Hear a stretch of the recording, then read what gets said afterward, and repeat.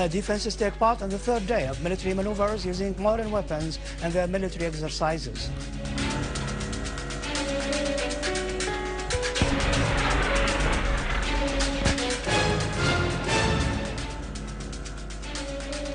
Annan affirms disarming terrorist groups is a vital issue as Salehi criticizes the interference of some countries and the Syrian crisis. Two terrorists admit to forming armed terrorist groups perpetrating acts of killing and kidnapping.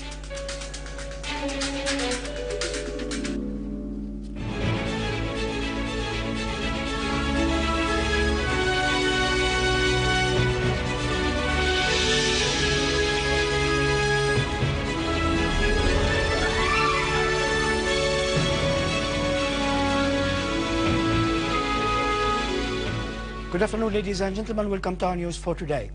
Our armed forces have continued their military exercises as the air defense has conducted a military drill with real combat missiles efficiently and skillfully using modern weapons. The air defenses yesterday carried out a military exercise using combat missiles and anti-craft artillery to repel an assumed air and ground attack, emulating a real combat situation. They showed high efficiency in locating and destroying proposed enemy targets and distinguished skill in using modern sophisticated weapons. The exercise was attended by the Deputy Commander of the Army and Armed Forces, Deputy Prime Minister and Minister of Defense General Daoud Rajha, and a number of General Command officers. General Rajha praised the performance of the air defenses and their high morale as well as their determination to perform their duty.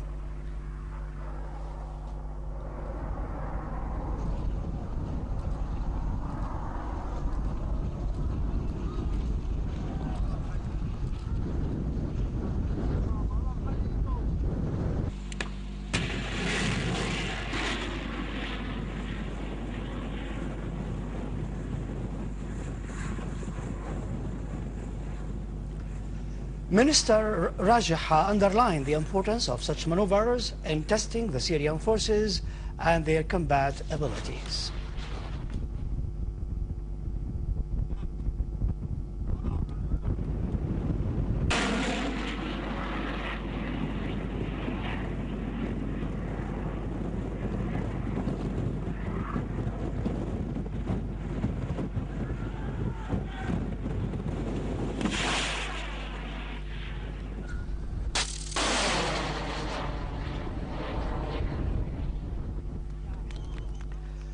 Russian Deputy Foreign Minister Mikhail Bogdanov called for a new meeting for the work group on Syria. In a statement to Interfax news agency, Bogdanov said that his country does not object to the idea of holding the meeting in Geneva, pointing out that the discussions with representatives of the Syrian opposition focus on the mechanisms of implementing Annan's six-point plan in order to start a political process which must lead to a peaceful solution. Moscow renewed yesterday its rejection of any foreign interference in the country and called for a political solution during a meeting with a delegation of Syrian opposition. Iranian Foreign Minister Ali Akbar Salehi has stressed that the ominous interference of some foreign countries and the crisis in Syria has caused the crisis to continue, despite the constructive steps taken by the Syrian leadership to meet the demands of the Syrian people. In a joint press conference with the UN envoy to Syria Kofi Annan in Tehran yesterday, Salehi said, political issues are complicated and the whole region as well as the world are on the brink of sensitive developments. All efforts should unite to prevent the spread of the crisis in Syria and limit its repercussions. He stressed that we should not allow the situation to get worse. The Iranian minister pointed out that the Syrian government has undertaken to fulfill its promises in meeting all the legitimate demands of the Syrian people and has taken tangible steps in this respect. On his part, Annan said his talks in Tehran aimed at ensuring Iran's support for a peaceful solution to the crisis in Syria. He said the international organization is working hard to ensure an end to violence by all sides. We have said and added that if we want violence to end, we should talk to all those who carry arms that they must stop killing innocent people. If we do not make a real effort to resolve this issue peacefully and it were to get out of hand and spread to the region, it can lead to consequences that none of us uh, could imagine. And so let's work together to bring peace and stability to Syria. Salehi has stressed in an interview with Reuters in Abu Dhabi yesterday that arming terrorist groups in Syria leads to the deterioration of the situation in the country.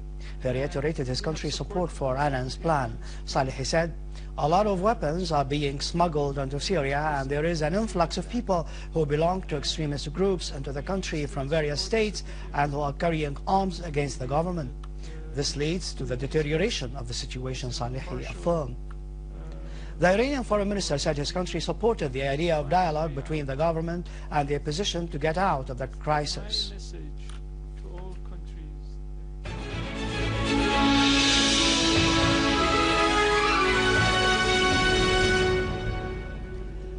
An armed terrorist group assassinated Dr. Abdul Basit Arja in Aleppo.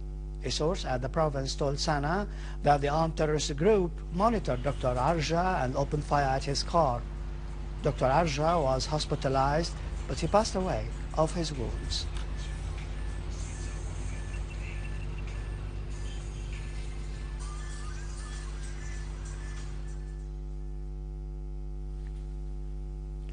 Authorities and border guards have foiled infiltration attempts by armed terrorist groups coming from Lebanon into Syria from several locations in Tel Kalach and Homs countryside. Huge losses were reported among the terrorists. Sana correspondent quoted the source at the province as saying that the terrorist groups opened fire on the sites of border guards on the Syrian side in Jisr Qumar, Jisr Abu Swaid, Harmoush crossings, Al Armuta and Larida, Nora and Dalia and tried several times to infiltrate to the Syrian territories by several vehicles equipped with machine guns. The source added that the clash resulted in the killing and injury of a number of terrorists One person of the competent authorities was wounded. Terrorists Ayman Muhammad Rabia and Yasser Fawzi Al-Abd admit forming an armed terrorist group that has committed acts of killing and kidnapping, spreading panic among citizens and worshippers in mosques, including the assassination of businessman Muhammad Ramadan in Aleppo. طالع فرد عشرة ونص قال لي هذا إلك Taha Mustafa Karthoum gave me a gun and he asked me to recruit some people to pledge allegiance to him as an Islamist emir. We met with some of the members of the Qaeda organization from Lebanon and Iraq, and we offered them the pledge of loyalty for the establishment of the Islamic State. My religious background grew after I watched the Safa and the Wisal satellite TV channels. We established a brigade called Rijal Allah al-Ahrar, or the Free Men of God. Abu Amr provided us with the explosive devices to carry out the acts of sabotage. We planted one of the explosive devices in a garbage container near the West Mosque to target the worshippers after leaving the mosque on Friday, and to accuse the security authorities of committing this act. We also detonated a booby-trap car, which we had parked in a car wash station in the Sukkariya neighborhood in Aleppo, causing some casualties. The terrorist, Hani Badawi, was watching the whereabouts of the businessman Muhammad Ramadan. We together, with an armed group, left to kill Muhammad Ramadan in front of his house in the New Aleppo district. شكلت مجموعة أنا بقيادتي بهالمرحلة هاي سميت مجموعة سرية أبو عمارة كانوا الأشخاص اللي معي I formed and led a terrorist group called the Abu Amr Battalion. The group called God's Free Men asked us on the website to help in killing Muhammad Ramadan. Then a member of the Istanbul Council asked us to delete the news off of the website, and Taha Kathoum asked me to meet with him in the Firdos area to plan for another assassination, this time the assassination of Sinan. After I collected all the information and the men I wanted to kill, and I headed with an armed group and we intercepted Sinan's car and we killed him.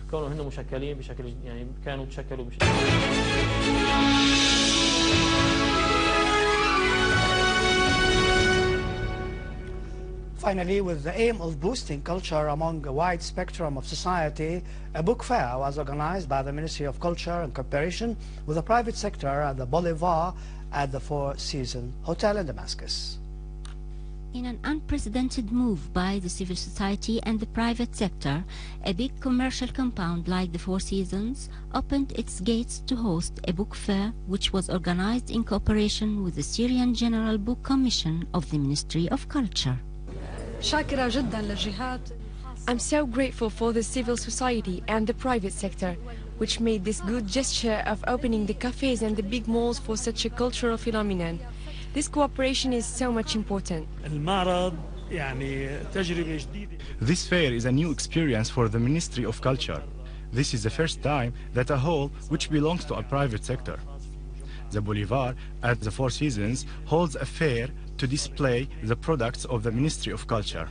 More than 250 titles of various domains were exhibited in the fair. The subjects cover Arab cultural heritage, education, music, translation, novels, and criticism, in addition to children's books and scientific books, as well as magazines and periodicals. Uh, we are looking for the, this exhibition that we want people to again go back to deal with the book that we already uh, everybody from the children to the adults they already leave leave the book and go to the internet. Uh, we would like to say to the all these people that please go back to the book and the book you will find uh, a kind of entertainment. When you read the book that can find your uh, yourself. Uh, we, we organize this book fair to make our books available for wide uh, spectrum of uh, readers. Uh, in our society, we have uh, publications uh, about literature, about literature criticism and uh, novels, uh, stories, short stories, uh, poetry, etc. The fair constitutes a great chance for the readers as it presents 40 and up to 70% discount on the prices of the exhibited books. Well, this went our news bulletin for today. For more information about Syria and the world, you can visit our